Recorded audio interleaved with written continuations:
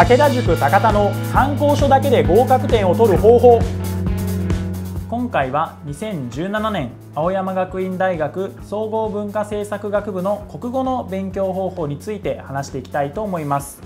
青山学院大学総合文化政策学部の国語。試験時間は60分間で配点は100点満点の試験になります。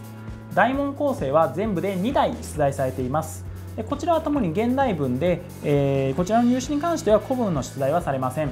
えー、この現代文2題なんですけどもどちらかというと比較的読みやすい内容の文章が出てますので、えー、その文章を読んだ時に、えー、どれだけ正確に選択肢を、え消していって、え正しい根拠を持った上で正解の選択肢を選べるかどうかがポイントになってきます。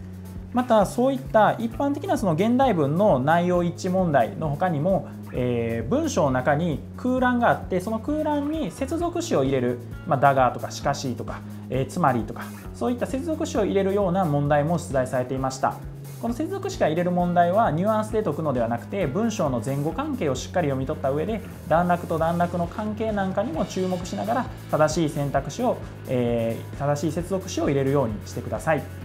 まあ、そういった文章の前後関係が問われる問題もあれば、えー、そうですね漢字の問題なんかや、えー、難しい語句に関して、えー、少し問うような問題とかもあったりするので現代文の総合的な力が求められている試験になっています。具体的な対策の方法としては武田塾の現代文の参考書ルートにもあるマーチレベルの現代文読解力の開発講座なんかでしっかり筆者の言いたい内容をつかむってことが、え文章の前後関係を読み解く大きなポイントになってきます。また入試現代文アクセス発展編や G マーチカンカン同率の現代文といったような参考書で、えー、そういった私立私立の大学でよく出る、えー、空所に接続詞を入れる問題空所に語句を入れるような問題あるいはその現代文の内容一問題の対策をしっかり行ってください。まあ、そういった対策を十分積んでもらえれば、えー、そこまで難しくない試験になるのではないかと思います。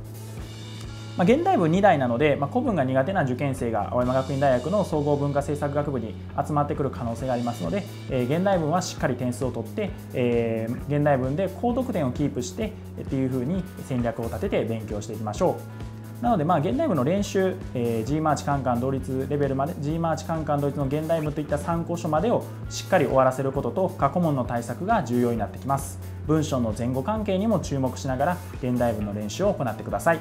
今回は以上です。